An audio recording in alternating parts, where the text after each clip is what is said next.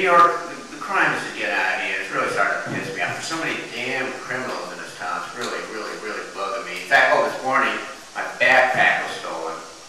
Uh, but that not, that's not what has me upset. What has me upset is all my hair.